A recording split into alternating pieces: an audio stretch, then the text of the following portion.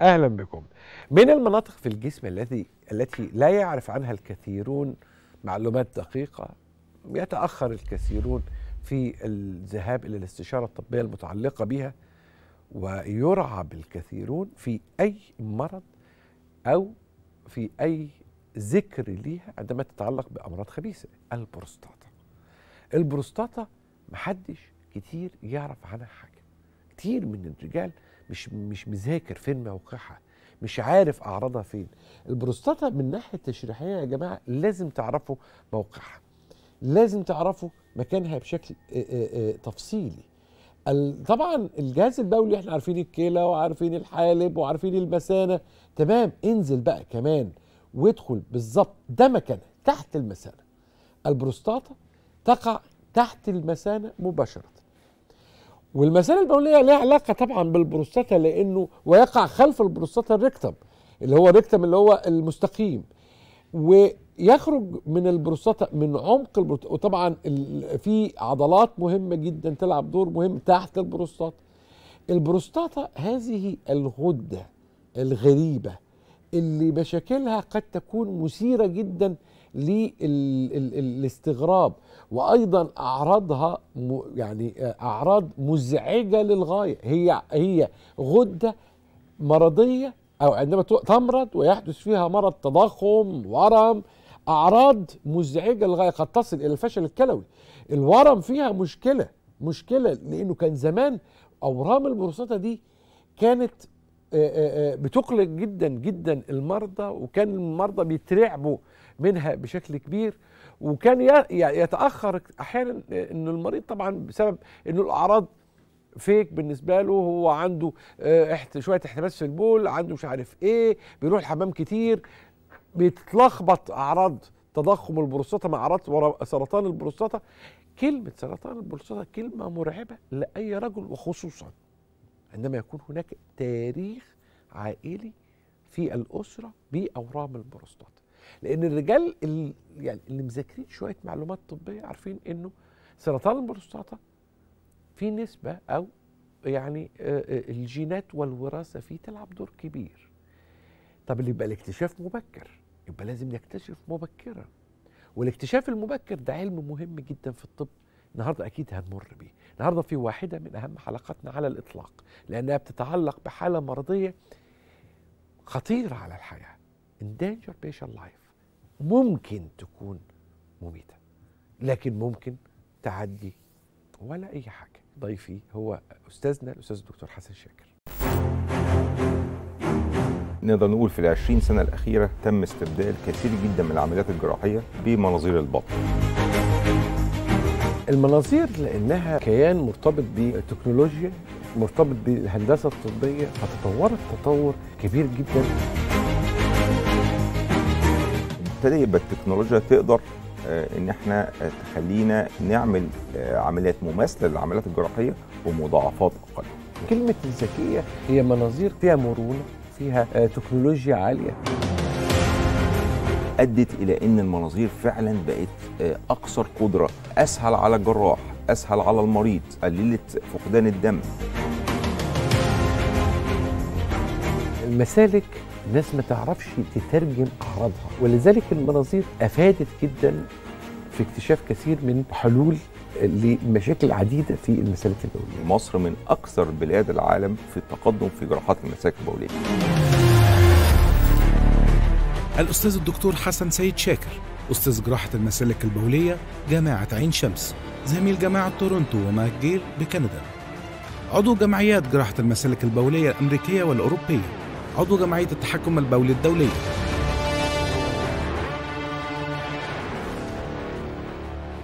الاستاذ دكتور حسن الشاكر أستاذ جراحات المسالك البولية بكلية الطب جامعة عين شمس زميل جامعه تورنتو وماكيل بكندا وعضو جمعيات جراحات المسالك البولية الأمريكية والأوروبية الرائد الكبير في عالم المسالك. أهلا بك يا أستاذ. أهلا وسهلا الحقيقة أنا عايز أبدأ الأول بالموضوع المخيف يعني أورام البروستاتا الخبيثة. هل هي منتشرة؟ هل هي مبكرة السن ولا متأخرة السن؟ هل لازم نقلق منها قوي كده زي ما إحنا قلقانين من أول الحلقة كده؟ أنا نفسي قلقان. يعني فعايزين نفهم البروستاتا. آه، أورام البروستاتا الخبيثة هي أكثر الأورام انتشارا في الرجال. أكثر الاورام الخبيثة انتشارا في الرجال. أو خلينا نقول لأن في بعض البلاد زينا ما هيش أكثر الأورام الخبيثة هي من أكثر الأورام الخبيثة انتشارا في الرجال. وبقى في آه، آه، إن أورام البروستاتا الخبيثة في بلاد زينا كان بالنسبة لنا زمان قليلة. ابتدى يبقى في توجه إنها بتزيد.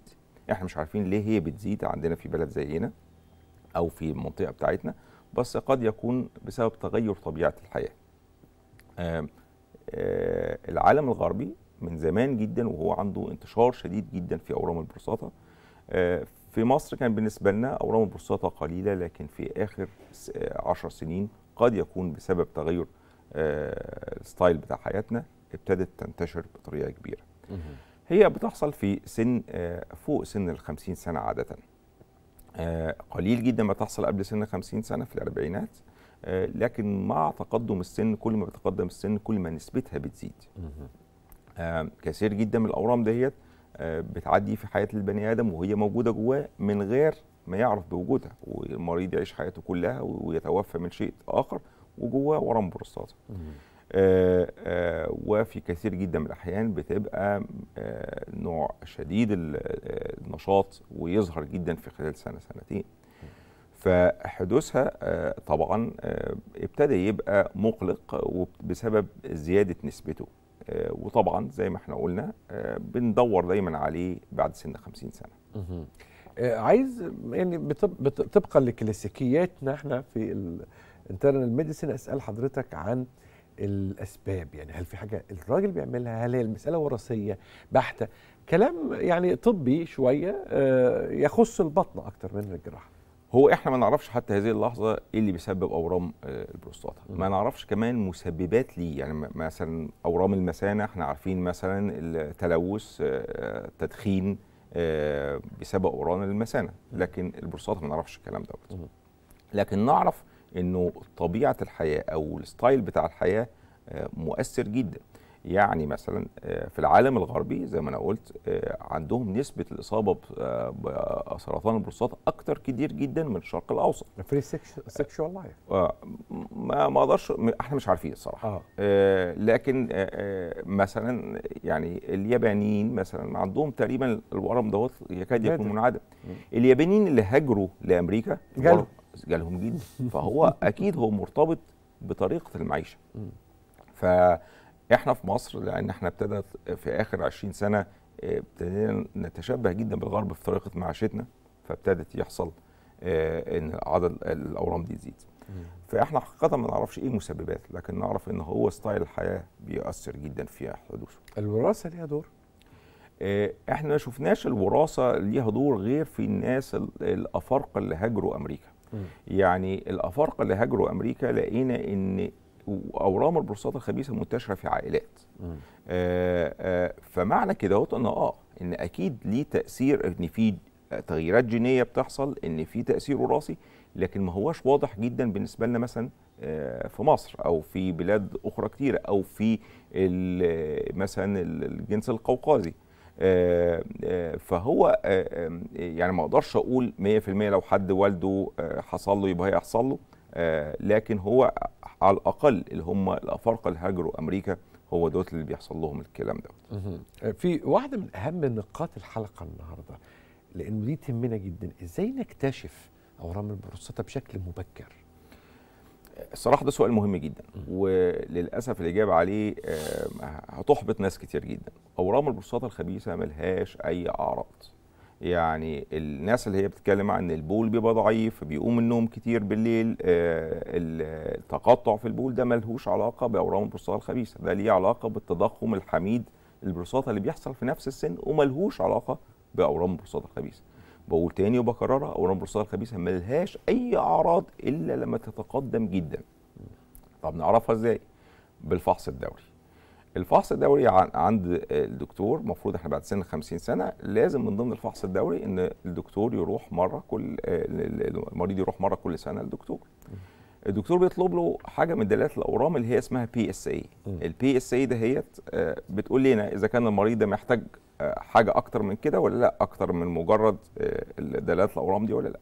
لو ال PSA طلع مرتفع كنا زمان وحتى هذه اللحظة كثير جدا من زمايلنا لسه بيعملوا الحكاية دي PSA مرتفع معناها تروح تاخد عينات من البروستاتا للأسف الكلام ده هو تغير جدا. الجهاز اللي فات ده هو ده كان جهاز رنين مغناطيسي.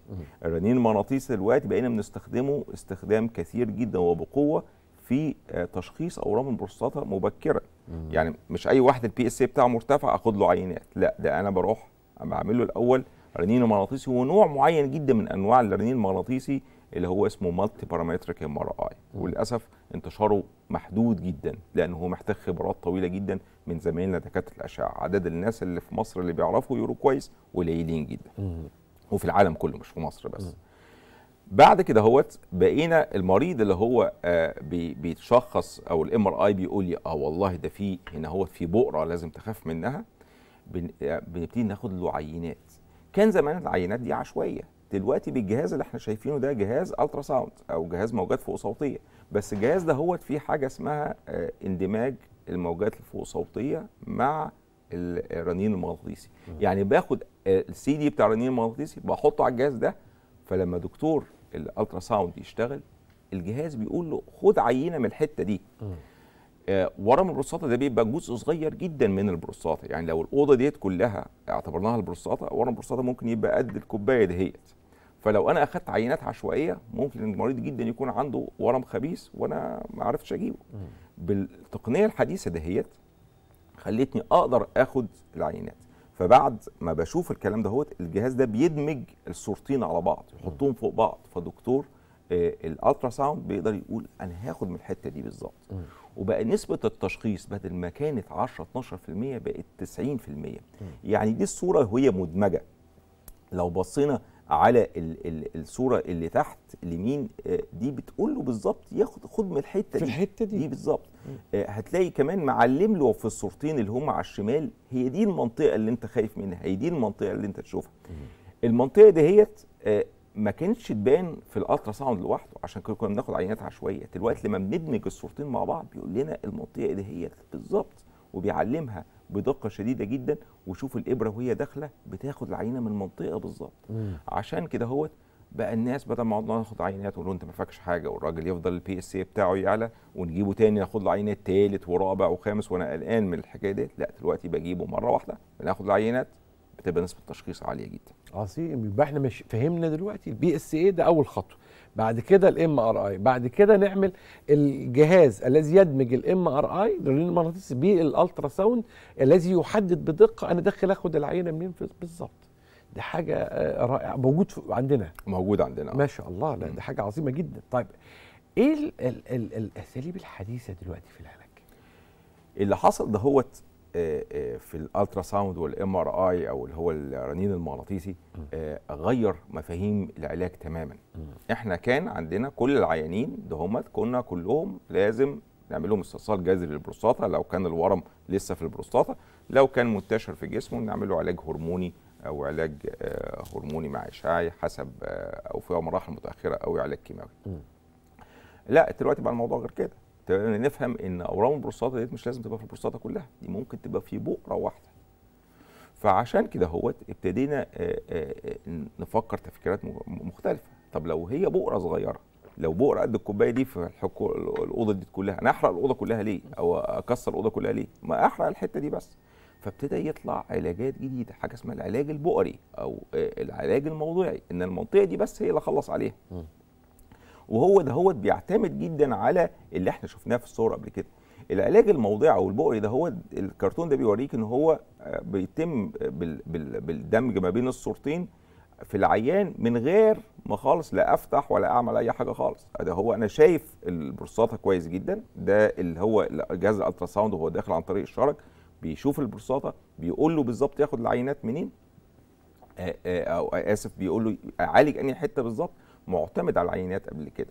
في ال- اللي عليها السهم دوت اللي في الحتة اليمين دي اللي هو الليزر وهو داخل في الحتة ال- ال- المعينة دي بالظبط عشان آه، يخلص عليها.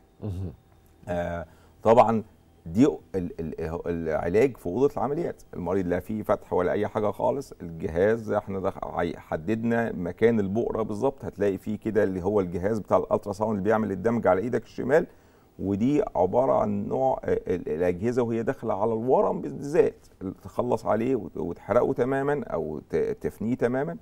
آه، دي الصور اللي إحنا بنشوفها. آه، بعد ما حصل الدمج ما بين ال ultrasound وال fusion أو ال MRI أو ال- اللي هو الرنين المغناطيسي.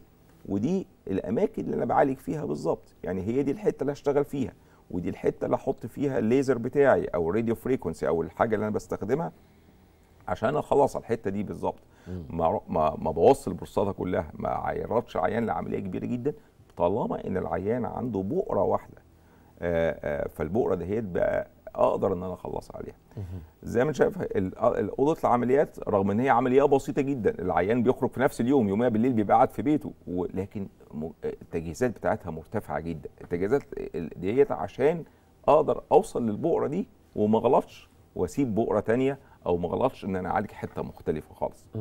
localization يعني ده ده ده العلاج الذكي ده. هو مش يعني ده علاج هو اسمه علاج البؤري بؤري. لكن جاي من بؤرة يعني أيوة. لكن أنا شايفه إن هو زي يعني الأصدق عليه يتقال عليه العلاج الذكي. صحيح. آه يعني ده ذكي جدا بيدخل على المكان اللي فيه الورم. بالظبط كده. هو بياخد البؤرة دي بالذات يعني زي ما إحنا شايفين هنا اهوت دلوقتي آه، هنلاقيه هو دمج الصورتين بعدين دخل اهو آه، بالمكان حط الليزر بالظبط في المكان اللي هيشتغل فيه اللي هو اللي هو معلمه من الأول عشان آه، آه، يخلص عليه خالص.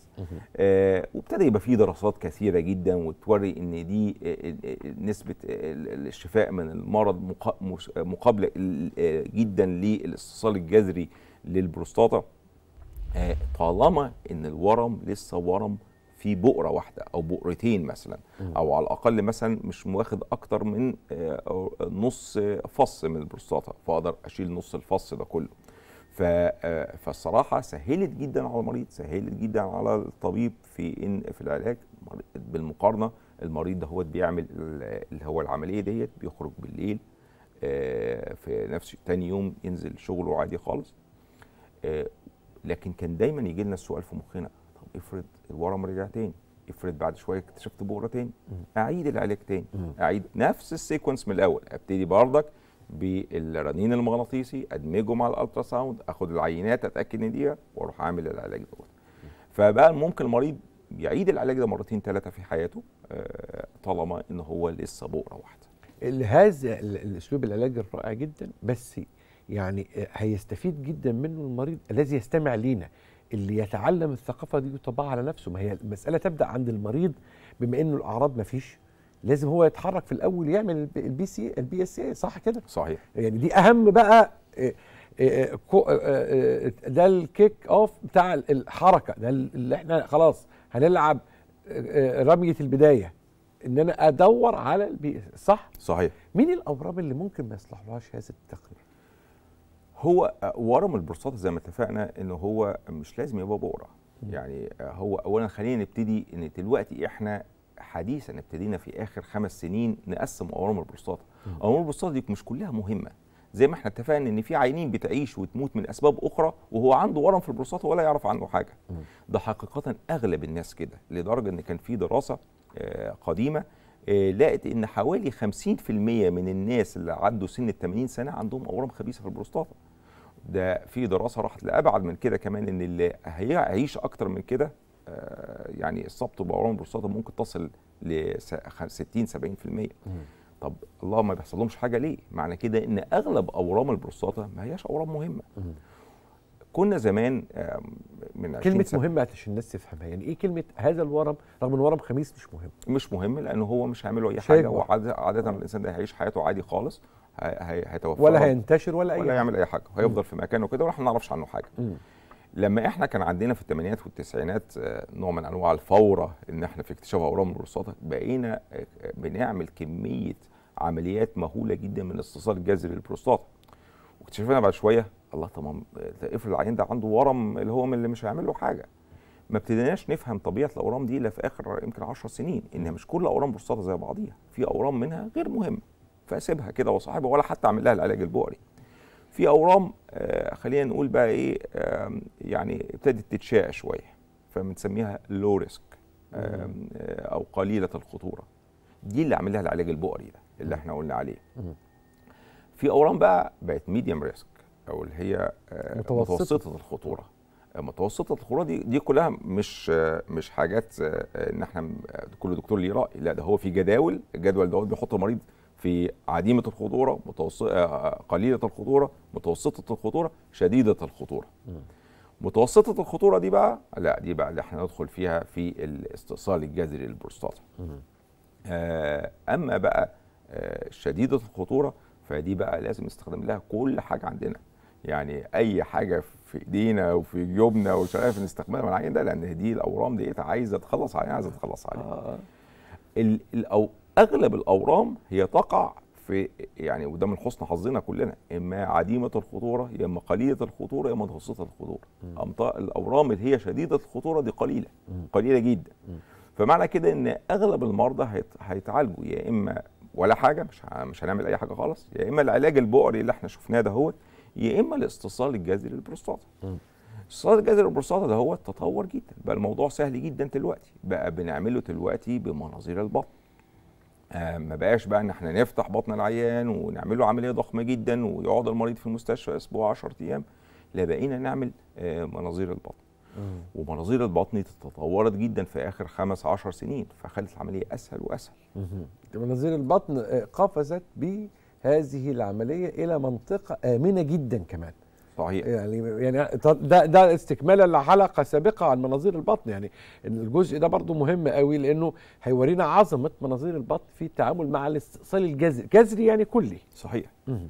إيه إيه مناظير البطن حصلت فيها طفرة كبيرة جدا. يعني ما- الطفرة دي ما حصلتش في يوم وليلة. آه، مناظير البطن زي ما أنتم شايفين إحنا ما بنفتحش بطن العين خالص. إحنا كل الموضوع بنعمل فتحات صغيرة جدا حوالي نص سنتي 3 4 5 فتحات. كل واحد نص سنتي وبندخل عشان نشوف الأجهزة اللي جوه وبنعمل نفس العملية بتاعة الفتح الجراحي بس من غير ما نفتح خالص. ودي طبعا ليها تأثيرات إيجابية جدا. زي ما أنتم شايفين في الصورة ديت وزي ما شرحنا في حلقة مناظير البطن إن ما بنفتحش بطن العيان. عدم فتح بطن العيان دي ليها تأثير إيجابي كويس جدا. إن بطن العيان ما بتتعرضش لهواء غرفه العمليات ما بتتعرضش للميكروبات ما بيحصلش فتق جراحي. بيخلينا كمان الريكفري بتاع العيان سريع جدا. آه آه في نفس اليوم يوم يتحرك. الاستشفاء سريع. جدا جدا. آه يقعد يوم يومين في المستشفى ويخرج. ما آه عادش فيه الجرح الكبير لا ما. بقاش في الجروح ديت خلاص آه ما- ده جرح أوبن ده آه. ده جرح كبير ده لكن أصبح الجرح حاجة تانية خالص صغيرة جدا آه. ما بقاش موجود الجروح الكبيرة. مناظير البطن زي ما إحنا قلنا قبل كده تطورت جدا بقت فيها مناظير ثلاثية الأبعاد بقى فيها الآلات الروبوتية بقى فيها ال آه، ال يعني دي مثلا جروح مناظير البطن تكاد تكون غير مرئيه آه، آه، مش بس كده هو كمان آه، عدم تعرض بطن العيان لجو غرفة العمليات ده بيخلي المريض يت يعني يتحسن بسرعة كبيرة جدا. كمان التكبير بتاع آه، مناظير البطن ده بيخلي فيه دقة كبيرة جدا جدا في إن إحنا آه، نعمل عملية. إحنا إزاي بنعمل آه، آه، مص- العملية بتاعة استئصال الجذر البروستاتا أول خطوة فيها إن إحنا بنشيل الغدد الليمفاوية. آه، شيل الغدد الليمفاوية دي حاجة المفروض إنها صعبة لا هنا سهلة جدا. إحنا شايفين تكبير ضخم جدا تكبير 10 15 مرة.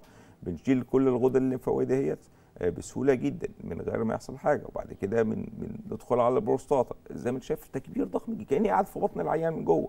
مفيش مفيش فيها آه، إن إن مثلا أنا دي حاجة مش شايفها أو حاجة بعملها عمياني أو حاجة زي كده النزيف فيها يكاد يكون منعدم أو فقدان الدم قليل جدا. رغم إن المنطقة دي هي منطقة عميقة جدا في الحوض ومن المناطق اللي هي صعب الوصول ليها ومن المناطق اللي هي بيبقى فيها بيحدث فيها كثيرا جدا نزيف في العمليات التقليدية.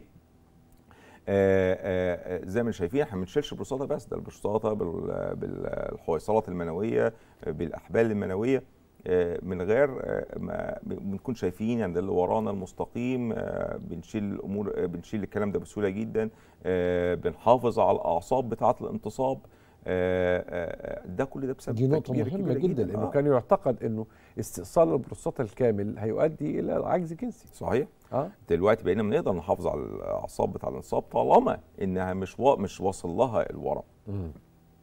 آه بعد ما بنستأصل البروستاتا لازم بقى هنوصل المثانة بمجرى البول هنا ال- التكبير الكبير جدا ال- الآلات اللي هي الروبوتية دهيت خلت الموضوع دهوت يبقى سهل جدا في عمايله آه، مش بس كده دي خلت كمان إنه آه، المضاعفات اللي بتحصل من الحتة دهيت زي الضيق اللي ممكن يحصل زي إن يبقى فيه بول كتير يطلع آه، ده توصيل مجرى البول اللي إحنا ده ده. مجرى البول آه, آه. شلنا بقى خلاص البروستاتا فلازم نوصل بقى المثانة بمجرى البول. عشان كانه كأنه tube واحدة كأنه أنبوبة واحدة صحيح. متصلة. لأن إحنا خلاص ما إحنا شلنا ال- البروستاتا بالمحتوى اللي فيه.